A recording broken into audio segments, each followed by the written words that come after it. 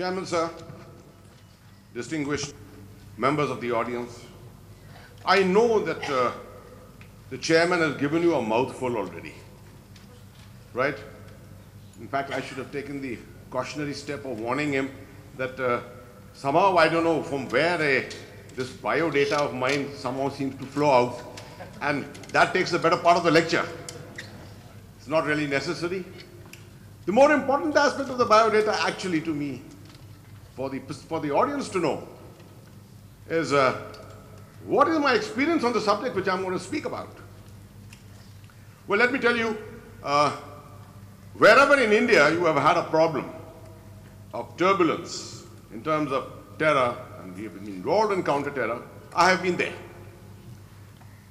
Starting from uh, the experience in Punjab, extensive experience in Punjab, a long experience in Sri Lanka with the Indian peacekeeping force, in Nagaland, in the northeast, and uh, very, very extensively in the state of Jammu and Kashmir, where uh, at every rank I happen to serve, from a second lieutenant to a lieutenant general.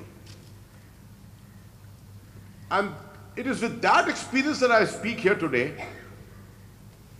This may be a structured talk, but it is not something which uh, you're not aware of. You are aware of everything I'm going to speak about. In such talks, what you should be conscious about is that these are reminders to you. Human beings have very frail minds. There's so much of data of the world which we take in every day that we tend to relegate lots of important things. And that's why such events come. It is these events which remind us that there are issues to be looked at which we may have forgotten once in a while, here and there.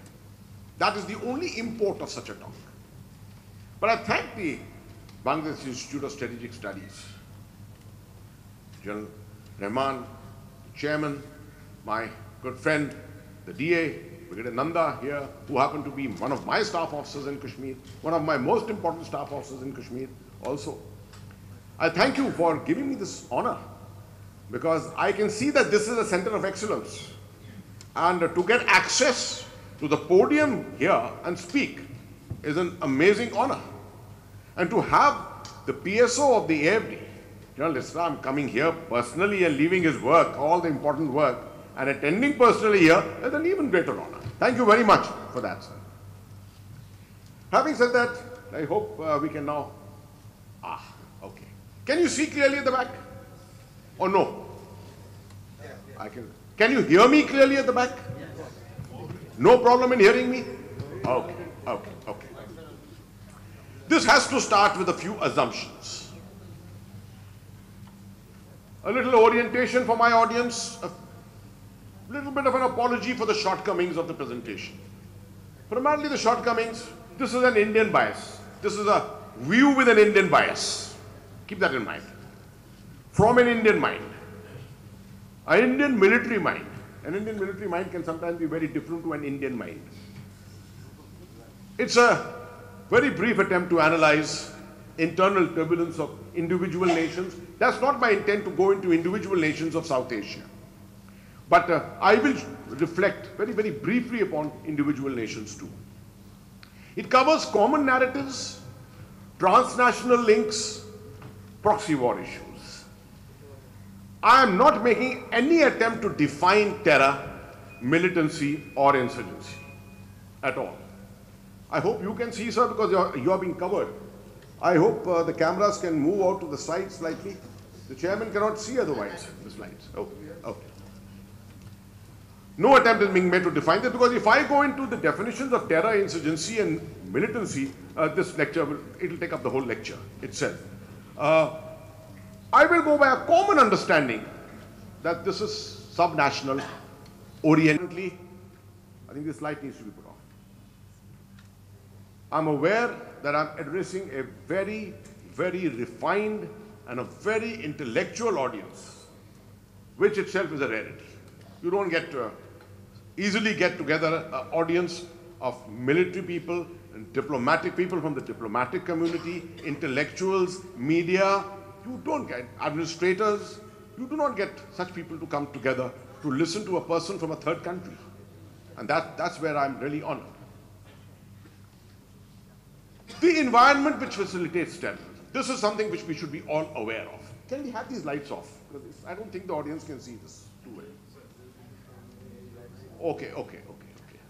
I, I will keep reading out where the things can't be read easily. Remember the environment which facilitates terrorism and the, starts with this aspect. One man's terrorist is another man's freedom fighter. No better place to exemplify this than the state of Jammu and Kashmir, where we have been fighting insurgency, militancy, terrorism for the better part of the last 25 years. And from the other side in Pakistan, they say, no, this is a homegrown insurgency. This is, a, you know, um, uh, all been instigated within India itself.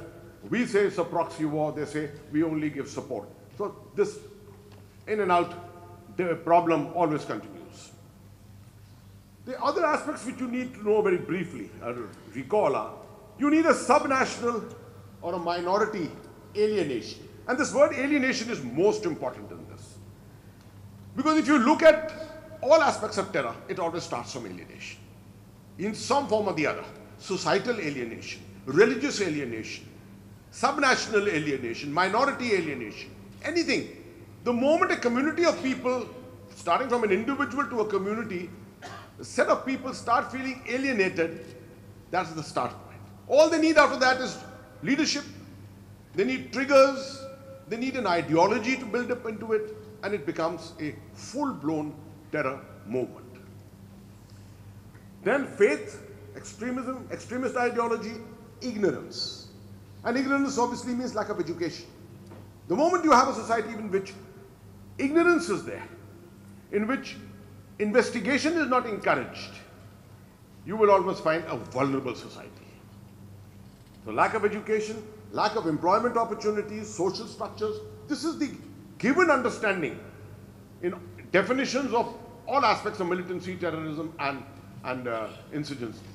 The moment you have this kind of deprivation, deprivation leads to alienation, alienation leads with triggers to terrorism. And then you have weak integration. You may have a community of people, which is why I, yesterday also I was speaking, uh, I was saying, what is the strength of Bangladesh? And since a large part of my audience comes from Bangladesh, let me say, what is the strength of Bangladesh? One of the greatest strengths of your nation is the fact that you don't require integration.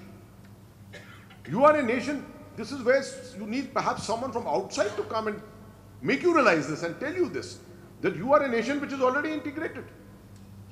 You are a nation with a syncretic culture. You are a nation with a very rich culture of fine arts, literature, music, everything put together. And one ethnicity, one language. Where can you get a, a, country in the world, a nation in the world with such advantage? This is, a, this is an important aspect to keep in mind about your own nation. Then you go back to proxy war, border interests, the aspect of uh, cross-border interests, proxy wars and proxy, proxy cross-border interests of one nation in the other nation. Typical case of the India-Pakistan equation.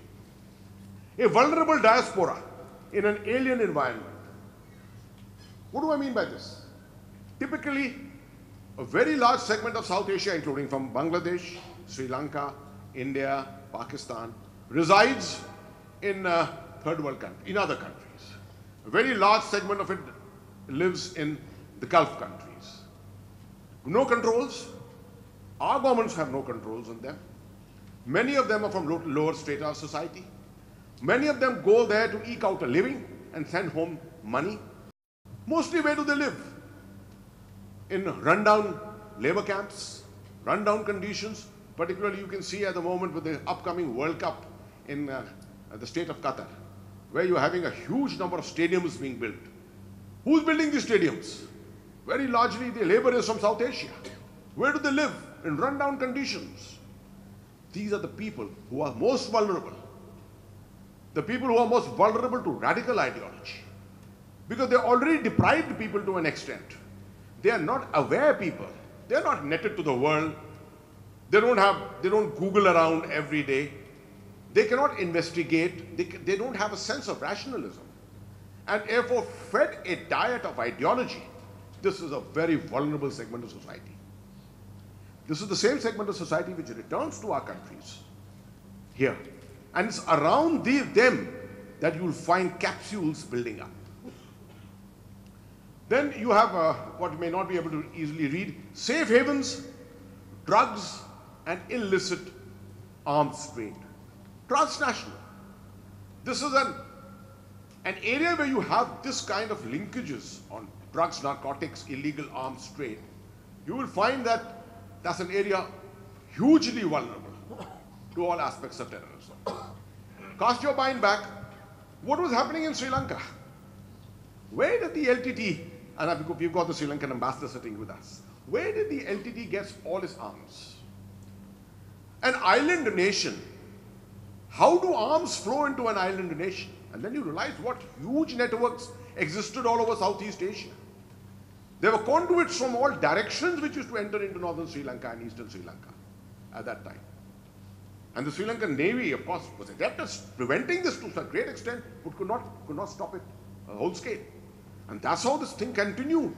Money, financial conduits. Where did the money come from? I went to Canada, I remember.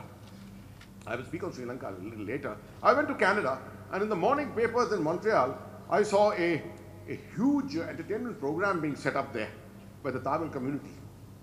And there I found, from people when I spoke to, I found that money was being raised all over the West for the fight in northern and eastern Sri Lanka. So it is financial conduits which keep working on this. The last part is that itself, counterfeit and other financial conduits. The moment you have money available, you may have ideology, you may have leadership, you may have everything available with you. You may have a cause, you may have alienation, but if you don't have money, nothing can run. Imagine, why is the Islamic State today a successful terrorist organization? Because the day they, the campaign started, on the first day in Mosul, they went and raided the treasury. $489 million were looted from the treasury. They, that made them the richest terrorist organization in the world. The Al Qaeda could not even match them. And secondly, the Mosul refinery itself was producing oil. And unfortunately for the Islamic State, that oil prices have crashed to $45 a barrel or whatever. And they were earlier selling it at 50% of the rate. So even if they're selling at $30 a barrel today, they're still making a packet. But it's a very interesting thing to also see who was buying that oil. After all, the whole world was condemning the Islamic State. And the question should come to us that if their finances are coming out from the refinery in Mosul, someone has to buy their oil. And when you investigate deeper, you find that all the people who are fighting them are buying their oil. I'm not going to name the nations, but those nations who are fighting them are all buying their oil.